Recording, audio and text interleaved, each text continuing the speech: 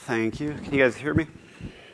Yep. All right. So I am, as he mentioned, Brian Atkisson. I am a systems engineer at Red Hat, uh, working in Red Hat IT on the identity and access management team. Uh, we support pretty much LDAP, Kerberos, PKI, SAML, anything identity management related. Uh, so as you can imagine, our servers tend to be a point that we really want to secure, especially the Kerberos KDCs. And on Linux, there's really only LUKS volume encryption that, that is feasible to do root file system encryption. But uh, as you can imagine, going around and running around typing in the, the passphrase at VM boot up is kind of a pain in the butt. So today I'm going to talk about a relatively new mechanism for solving this problem uh, that Red Hat's been working on and will show up shortly in future Red Hat releases. So the use case is, and this actually happened to us. Um, our enterprise security architect came to us and said, we really, really need to encrypt everything everywhere. Like, okay, we could do that. So, but data centers kind of complex, right? You have physical servers with pretty much every imaginable boot device you could think of. Um, virtual machines, not the easiest to get console on to actually type in any kind of LUKS passphrase on boot. You have uh, storage appliances. A lot, a lot of storage appliances, NetApps, and so on offer kind of vendor-based solutions for, for encryption, but there's not really anything that works across everything everywhere not to mention that cloud thing, right? So when you start putting things in AWS or Azure or wherever, trying to encrypt your file system gets a whole lot more difficult. Um, there are vendor-specific solutions. You know, AWS has their KSM solution, um, but by design, that is there to really increase your lock-in with their service. Um, and not, doesn't really translate to running things in the hybrid model where you have services in both your data center as well as the cloud. So there's lots of options for doing disk encryption, but all of them suck. Uh, as I mentioned, there's the storage appliance vendor solutions, NetApp. They're uh, pretty much all the vendors have these. They have some nice benefits in that they will perform encryption after deduplication which is relatively nice if you rely on deduplication to cut down on your LUN sizes. Um, there are, of course, native OS tooling uh, mechanisms for, for pro providing uh, file system encryption, LUKS, BitLocker on Windows. Key management still a headache. Um, and then you could do some other hackish things like doing a uh, having your, your data LUN encrypted with LUKS and then storing the decryption key and the binary blob plain text on the root file system that's not encrypted, in which case, why are you even bothering in the first place? Um, and really, you get into this model where you still kind of need an escrow service. And escrow services bring into a whole other range of problems. You have to back it up, secure the transport. It's kind of a nightmare. Um, so, and of course with escrow services, you know, if you have a data center outage, the first thing that's going to break and not come back up after a data center outage is the escrow service you need to recover the rest of the data center. So, um, so it's important to kind of take a step back and ask the question, why do we want to encrypt everything everywhere? Um, there's, of course, the regulatory and compliance uh, reasons, right? We, we, this happens to us all the time where customers want to know that we're encrypting data. Um, and so we have to show that, yes, we are. Get that audit gold star, right? Um, which, okay. Uh, then, more importantly, we want to prevent data leakage. Um, we're returning disk all the time when the disk fails in our, our RAID arrays or storage appliances. Um, backup media, you probably really want to encrypt that. Uh, protect against theft. Um, of course, you want to protect against unauthorized access, uh, both online and offline. Online access is, is usually protected at higher levels, but on the offline access, if someone has access to, to mount the data LUN, you don't want them to be able to read it. And similarly, you, it's mostly about control, right? You want to protect against the unknown. And especially if you're in a multi-tenant environment, you kind of don't want other AWS customers to be mounting your data. So I can tell you what I don't want out of a, a decryption system, right? We, we don't want any kind of boot or mount time manual operator in, intervention. I don't want to have to go run around and type in the LUKS passphrase at, at boot. We don't want to run different solutions everywhere. Um, having one standardized solution for both on-prem and off-prem services would be ideal. We definitely want to avoid vendor lock-in. Um, we don't want to rely on escrow services to break during an outage, because they will. Um, and, and, most importantly, I don't want to have to run a HSM or any kind of specialized hardware. Um, although TPM 2.0 has some interesting potential, but you know, then you have these things called VMs, right?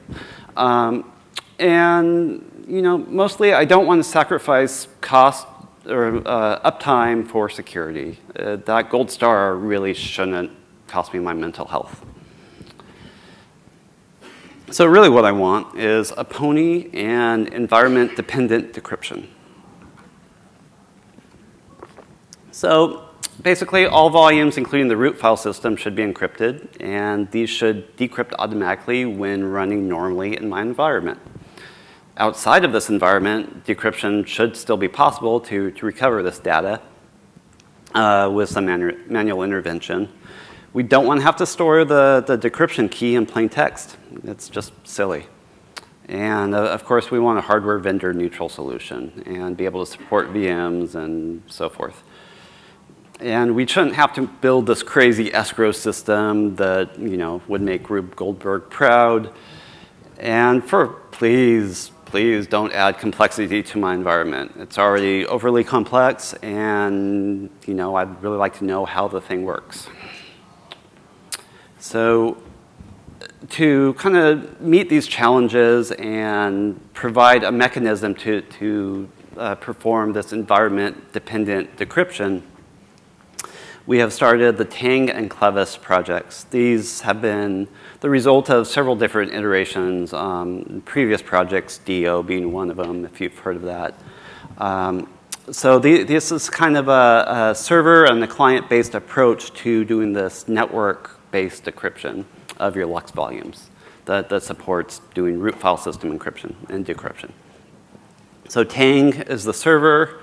And it's more than just providing LUKS decryption. It's really kind of uh, a mechanism for, for doing secure network-based data recovery. And Clevis is the host-side tooling that, that works with LUKS and encrypt setup to provide to both lock and unlock your volumes. And the, the naming comes from kind of an ancient lock locking mechanism where you know Clevis is the the mechanism that goes around and you have the pin and, and so forth. So the, the Tang server. So the basic premise is that the Tang server and the client work together to calculate the LUKS decryption key. Neither party can decrypt this, can, can access that LUKS key on its own. Uh, and this encryption key, decryption key, is never transmitted over the wire. It's not an escrow service virtually nothing gets stored on the Tang server. Literally, it's two files, two, two private keys. Um, the server really knows nothing about your client at all. And it supports highly available configurations. And uh, as, as, I mentioned, this works together with your client to, to decrypt the volume. And most, most importantly, that's kind of a future roadmap thing that is in Tang starting to see in Tang today is it's really a framework about doing policy-based decryption. One of the, the, more interesting facets of this is that you'll be able to do uh, have user laptops that, and those laptops can decrypt at a certain time when the user is near a certain access point. So you could do kind of cool policy-based mechanisms like that uh, outside of your data center too. So I always butcher this name, so I'm not going to say it, but the, the MR exchange is a, a, novel kind of mechanism to provide this, this uh, client and server calculation to decrypt the volume. It's, it's based on an elliptical curve Diffie-Hellman, and they've added some extensions on top of that. And the, the gist of it is that the, the client and server work together to, to perform that decryption. Um, I would suggest you, watch one of these two videos uh, where Nathaniel, who's the McCallum in that exchange, um, goes really go, kind of goes through the, the details of the exchange and the math in, in much greater detail. So the Tang server itself, it's a, it has an integrated simple HTTP server. Note, no, it's not HTTPS. You don't have to worry about uh, HTTPS certificates or anything else. It is just plain HTTP. Uh, the, the service relies on JSON Web Encryption Objects, JWEs. If you've, I don't know if you guys are familiar with those or not, but they're kind of a standard. And overall, the entire Tang and Clevis uh, processes conform to the, uh, the JOSE standard, which is um, you know, object signing and encryption.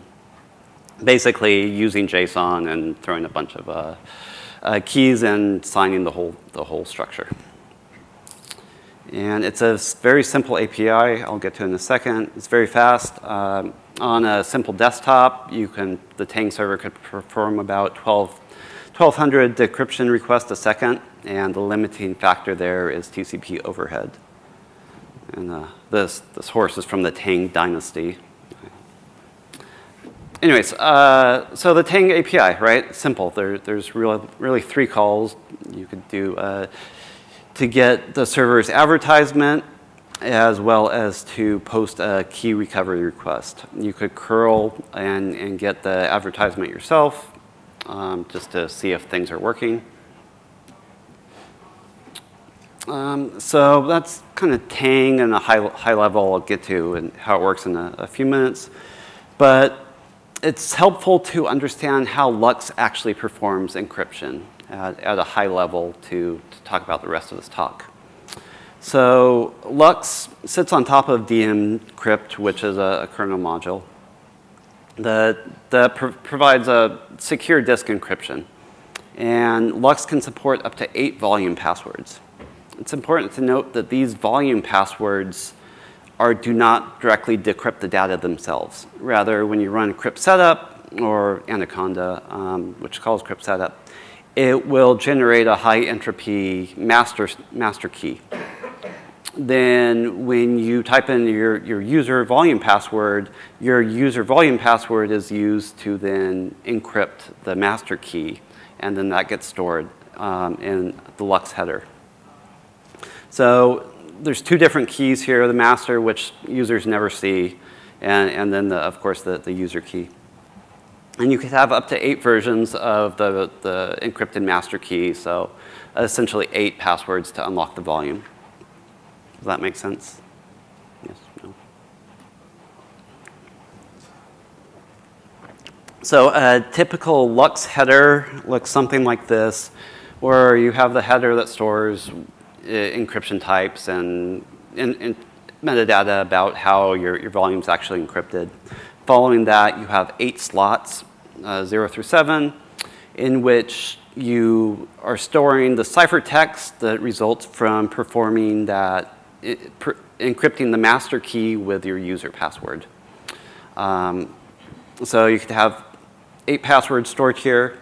And most importantly, between the password storage slots and the actual disk, encrypted disk contents is about 4K of free space, uh, depending on your sector size. But So in order to be able to provide, to store some LUKS decryption metadata along with the actual LUKS volume, we came out with a, uh, wrote a new utility called LUKS Meta. And so this is used to basically chop up that free space and store additional metadata in, in this free space. So you have the, the LUKS header and then broken up that free space into eight segments as well, which correspond to the, the eight password slots. Uh, so you'll, you'll see why that's important in a second, but if you talk about Clevis, which is the, the Clevis is the client-side software which interfaces with LUKS to provide the, the decryption. So you have your Tang server out on the network, your, your local client, you know, server, whatever it is, starts up, it run, it's running Clevis, and Clevis reaches out to and talks to the Tang server, and then decrypt, works locally to decrypt the volume. Um, Clevis is fully pluggable um, and supports a variety of different types of Clevis pins. And the pins are essentially decryption mechanisms. They could be, you could use one with a Tang server, or if, if you want to run your own escrow service, you could do that too with just using the HTTP pin.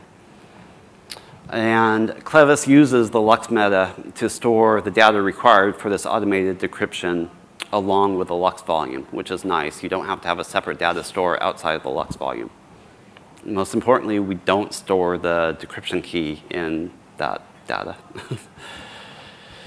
so when you run, I'm going to kind of go through the theory of how this operates. It's considerably simple when you just run it. Um, it's one command, so I'm, but I just want to show you how that command works. Uh, so when you run clevis luks bind, it generates a new random key with roughly the same entropy and key size of the master key for the LUKS volume. So we generate this new key. Then we call crypt setup, which is a LUKS command, to actually add this new key that we just generated to the, the next available password slot. In this case, it's slot one. So you have your, your original password that you set up as part of Anaconda or setting up uh, LUKS manually, and then you have the new Clevis uh, encrypted master key. So when, can you guys see that? Uh, so when you run the, the Clevis uh, LUKS bind, after it generates the, the new random key, it will reach out to the Tang server and request an advertisement. And the server will respond with that advertisement in a trust on first use policy. So you choose to trust that signature that the Tang server returns. You could also load this advertisement out of band using Puppet or whatever configuration management solution you want. So you could, could set up that trust relationship beforehand. So then LUKS, uh, Clevis will then generate a new binding key and encrypt your, your uh, basically uh, Clevis LUKS password, the original password that you generated with this new binding key. And that is performed using ECDH, uh, ephemeral static encryption, which is covered by RFC. So then we, we encrypt the binding key with the Tang server exchange key. And so this is where it's important, where we then use the, the Tang server's key to encrypt our binding key so that we cannot actually access our own key without talking to the Tang server. We discard any plain text keys we have laying around, and then we store all the ciphertext as well as the, the server's advertisement and URL as a JWE object. Does that make sense? Yes, no? Okay. Then we plop that JWE object that we just uh, generated, and, and this is essentially the thrice encrypted LUKS password in one of the, the LUKS, the next available uh, LUKS meta slot. And you, we put it in the LUKS meta slot that corresponds with a LUKS password slot so that there's this uh, kind of implicit uh, correlation between the two. Uh, we'll, we'll see this in a, a, few minutes. So basically, the, the JWE then sits on the LUKS volume in an encrypted form. So that's how we originally set up encryption. Now your volume's encrypted, it's running, you need to reboot the server. So when the server boots up, part of the, the uh, boot process is that it, it invokes the Clevis scripts uh, that, that you include into the uh, initial RAM disk. And now we need to recover the binding key. So upon boot, uh, Clevis is invoked. It then needs to, to recover the binding key. It reaches out to the Tang server, it performs a calculation there using the MR exchange algorithm we covered before. So that will allow us to decrypt the JWE, which decrypting the JWE will allow us to access the Clevis LUKS password, which will let us recover the, the LUKS data. And you can run Clevis up to, of course, I guess seven times to store seven different decryption keys against seven different Tang servers. And Clevis will iterate through the various keys until it finds one that actually decrypts your volume. So the recovery phase is all about decrypting the JWE that you stored to disk. And this, of course, occurs automatically at boot as part of the boot process, or there's also a plugin for GNOME. So if you have a USB disk that's encrypted, you just plop it in, and it gets decrypted automatically. So the, the key recovery steps, these are all performed automatically, right? right? We, we fetch the JWE by scanning the volume and looking at the LUKS meta slots, we pass that JWE to Clevis Decrypt. We find that, hey, this, this JWE was encrypted using the Tang pin, use MR exchange to, to recover the key, decrypt it, and all is good. Uh, at that point, you have uh, full access to the encrypted volume contents. So that's nice theory, but how do I actually make use of this? It's actually really simple. It's currently available in Fedora 24. Uh, we are working to include it in a future RHEL release. I'm not allowed to tell you which one, but soonish. Um, it's also open source, right? I, I, pointed you to the GitHub pages. You can really build it on any distribution that supports systemd and LUKS. Um, mostly the, the limiting factor there is the JOSE libraries. So to install Tang, if you, on your Tang server, you literally just install it and systemd enable it. Uh, enable and start these services.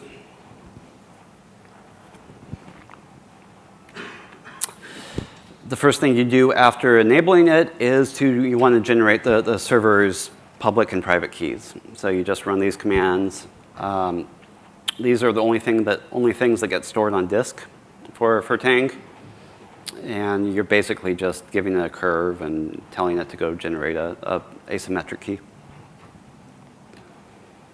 So that's all that really is required on the Tang server. To, to set up Clevis, so you would do this on the, the server that where you want to have the actual encrypted drive. So you would install these packages, the Clevis, really just install Clevis star. Um, we have the, the LUKS package, Dracut, for, for decrypting the volume at boot time, and the udisk packages, which is for GNOME to decrypt, to decrypt USB keys. To set up and trust, so as I mentioned, you run the, the Clevis bind LUKS command, give it a path to the device, and give it the Tang server URL. It's all that's needed. So here's an example, right? You, you run it. Can you see that? Yeah. Uh, you choose to trust the advertisement, or you could trust it beforehand. If this is the first time running Clevis, you'll be, uh, you'll give it, be given a warning that, hey, do you want to initialize that free space in the LUKS header? You just hit yes, it's harmless. Um, version 2 of LUKS will actually support a proper vendor metadata storage system. But in, in, version one of LUKS, which everyone uses, it, it doesn't really have a dedicated space for this type of metadata. So the rest of the, the command, just run clevis bind LUKS, and you give it an existing LUKS password that works to decrypt the volume. And this is needed in order to add the, the new key to your, your, one of your LUKS password slots on your Tang server, you'll see that, hey, we received this key post, and all is good. You could take a look at the LUKS metadata that Clevis generated in that free space. And here you'll see that slot one is empty because that corresponds with the user password that was set up uh, when the LUKS volume was originally initialized. And then slot one is your Clevis managed decryption key. Um, this UUID will be the same across all Clevis mechanisms. Um, it's really just uh, associated with the, the Clevis utility. So if you have multiple Clevis keys, you'll see the same UUID in all slots. And I know you can't see that, but you could actually take a look at the metadata that gets stored on disk. It is a simple JSON object. So you, you just um, use the LUKS metadata to load it from your disk, and you can pipe it to, to the JSON tool module Python, which will format it nicely for you. And, and here you can see the algorithms used as part of the exchange and some metadata associated with, with Clevis. You also see the URL that's uh, of the Tang server that generated that you need to talk to in order to recover the, the key for this. And then a final step, after you install Clevis and do the, the LUKS bind setup, just run dracut-f, and that will rebuild your, your init uh, file, so it'll boot, uh, decrypt that boot after that. Um, really, that's it. So that's uh, Clevis and Tang in a nutshell.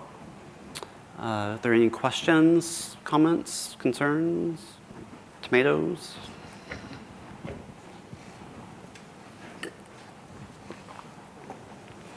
Oh, go ahead. I think I, I think I might have missed. Is this on? Doesn't seem like Yeah, it's on. Oh, it uh, is.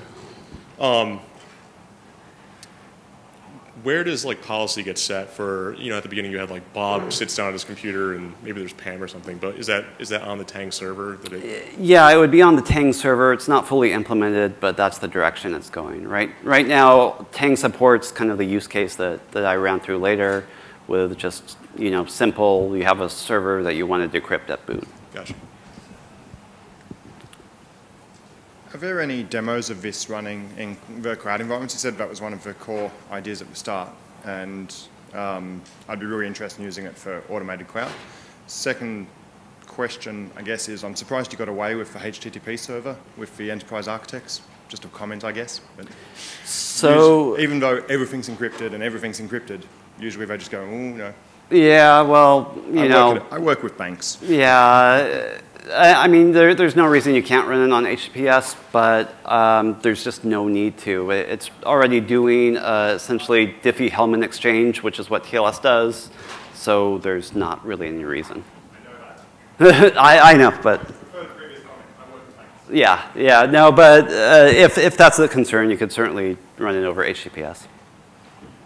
So I think I know the answer to this, but uh, just to confirm, so when you, when you do the setup, the initial user password is still in place, so you Yes. can, you can still decrypt manually if you're off on some other network. Right, you could have up to eight passwords, one of them or Right. seven of them could be Clevis passwords, but you still have that initial password that was set as part of the, the Uh, setup. And so the other question is, obviously this is happening very early in the boot process. Yes. What's, what's your network environment at this point? Is the, is Clevis doing DHCP thing? What- what- Mm-hmm. Yeah, it'll, it'll bring up your network stack first before it tries this. Uh, and once it, it actually uh, sees your network stack up, then it will try to run the, the Clevis decrypt. But, but DHCP is clearly a requirement here then on the network, Uh, yes. because you're not, you right. don't have access to your other network config yet, so. Yes. Excellent talk. Uh, So if I recall correctly, at the beginning you described a scenario where, um, you know, with, with I think you called it a, a network escrow service. Um, You know, your data center's down and and everything needs the, the escrow service to be up, but of course it's, it's down as, Right. as well.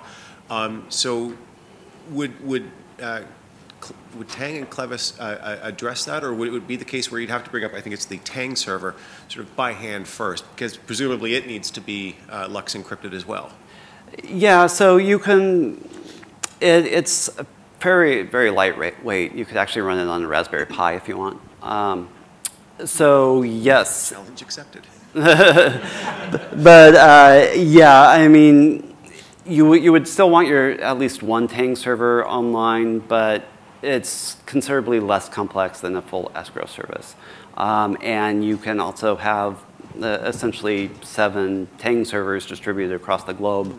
that are available if your, your local net, uh, Tang server goes down, it'll just access another one someplace else.